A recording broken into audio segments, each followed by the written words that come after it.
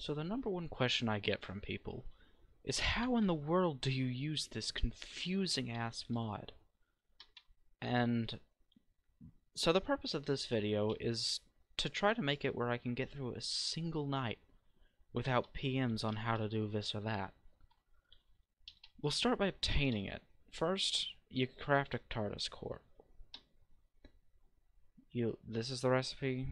You can only craft it with that key there. This one doesn't exist. You can only get that one through creative, so this is how you craft this key. I might put that in the Sonic's workbench or something later. We'll see. So, you slap this down, you let it grow. Or you could use the command slash TARDIS grow. The bounding box of the coral you want to grow has to be highlighted.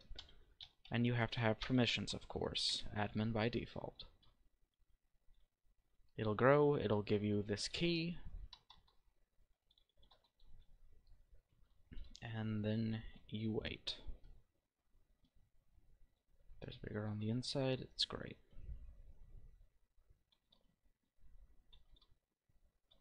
Okay, so what you're going to want to do after this is you're want, going to want to get a book some way and right click it on the TARDIS, which will give you a manual. Oh, look at that, it's blank. Ah, mod ruined. What can we do? You can look at the controls and it'll show you what to do. This is the door switch. It controls the door. This is the coordinate randomizer. It randomizes your coordinates. Directional control. Surprisingly, it chooses what direction you face. XYZ, what could they do? I'll let you figure that out. That being said, to go back or to get these negative, what you'll want to do is shift in the mod. That's a common that's a common theme here. Remember it. So just scan over the controls till you figure out what to do. When you first get a TARDIS, the TARDIS has different subsystems. When you first get it, these will be set to ran these will spawn with random health.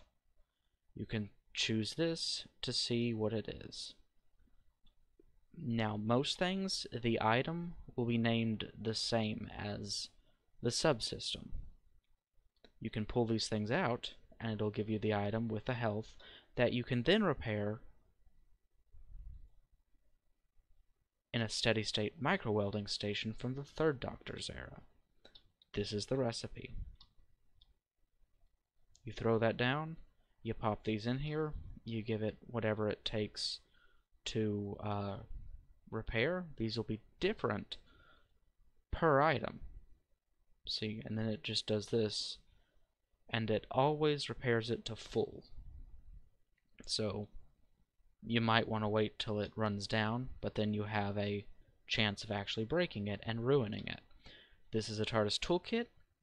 As it says in the description, it repairs all non-zero systems by 15%, and you cannot uh, you cannot craft nor find this.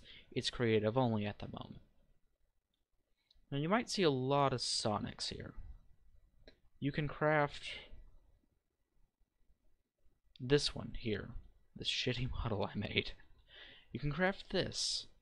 And once you have a Sonic of any description, really, you make a Sonic's works workbench.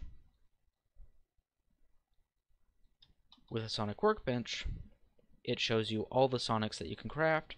You pop a Sonic in here, you choose what Sonic you want it to be, you take it out, and there you go. It's not rocket science. So, okay, flying the TARDIS. First we'll go so someone somewhere random. So we click on the randomizer, as you may be able to figure out. You click on the time rotor handbrake to launch. You can do this before or after setting coordinates, it doesn't really matter. Stabilizers will be off by default and that puts you into unstabilized flight, where you have to respond to what comes up, and within about five seconds, or else the TARDIS will start to explode and send you further from your destination. The upside to this is that it's a lot faster, twice as fast, in fact. And sometimes it eh, sometimes it doesn't uh, doesn't switch to a different uh, event, so you get more than five seconds before you have to change it. Yes, fading in when you leave is a glitch, and it will be fixed. So, let's talk about the monitor. This is one of the single most important blocks in here. Currently, first off, the chameleon cir circuit, everyone loves it. You can choose any box you want. Just so long as the chameleon circuit uh, subsystem is not zero. And this will wear down if you have one while it's flying. So there's that. There's HADS. What HADS does is it materializes your TARDIS away from danger like arrows or hostile mobs when they come in contact with it. Uh, this can cause you to lose your TARDIS because it will fly away without you. If you have stabilizers installed, they'll automatically engage and it'll go where it's intending. Same with the Stattenheim remote.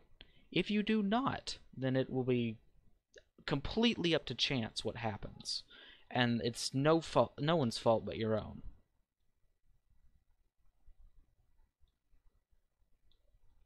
So where'd it go? Who knows? How would we recall it? Well, a Stattenheim remote. But Spectre, you can't right-click the the console because it's gone. That's why I made it where you can craft it. With you can craft the two together to bind it. It's been this way for probably three versions now, and none of you will listen to me. Oh, look at that, it's bound and you get to keep your key. Wow!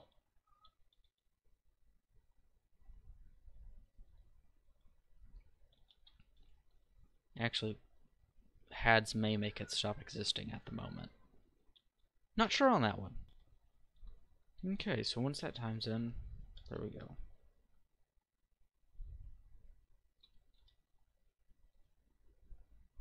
So, now we get to some of the finer points, like TARDIS maintenance. This is an alembic. It needs to be remodeled. The displays badly need to be done, but they're not currently, so oh well. You'll find cinnabar ore. When you mine it, it will drop cinnabar, which is supposed to exist somewhere.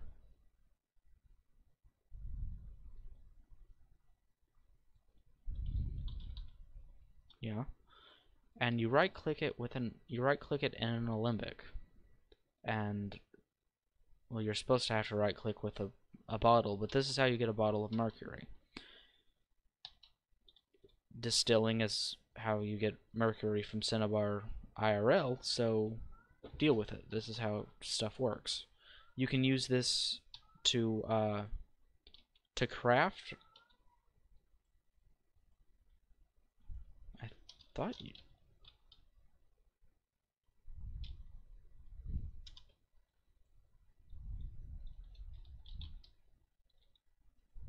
Yeah, you can use this to craft the fluid links or repair them to full.